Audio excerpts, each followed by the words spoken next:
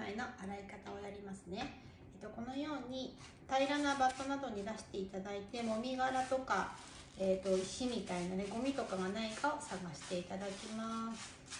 もみ殻は空いてる間にも、えーと、浮いてくるので、まあ、そんなに気にしなくて大丈夫です。次ですね。こんな風に、えーと、ざるの中に入れちゃうと入りやすいです。ちょっとこぼれが残る回目は、えーと、浄水器もしくはペットボトルのきれいなお水を必ず使ってあげてください。これ浄水器今通してます。でさっと取ります。2回目からは普通に水道水でも構わないです。なぜかというと玄米は乾いているのですごくお水をね最初吸います。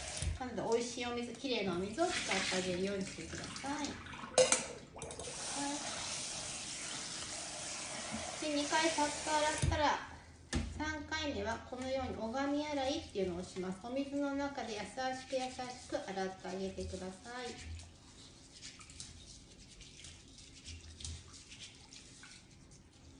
あんまりこすりすぎると玄米に傷がついて酸化しちゃうので優しく優しく洗ってあげてください。拝み洗いというのは拝む時こうやりますよね。それの逆に手をしてあげてお水の中であまり摩擦が起きないように優しく逆の手でこうやって逆に向きにして洗ってあげます。これを2回ですね繰り返します。あまりゴシゴシやっちゃうとね玄米美味しくなくなっちゃって栄養価も低くなっちゃうので気をつけてください。これで2回やってで次ですね。振り洗いというのをやっていきます。ーと、ボウルにお水張ってこうやってざるに玄米を入れて2回シャカシャカ。振るようにね洗うことで傷がつかずに玄米が洗えます。これお豆などをね洗う時にも利用していただけますので是非やってください。これまた2回ですね。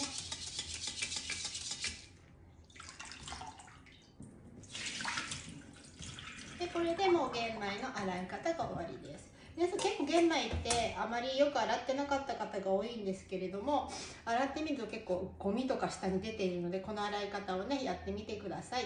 ではこのまま水気を切って次炊いていきますね。浸水する場合よく水切ってからこの後浸水をしていきます。ではご覧いただきましてありがとうございました。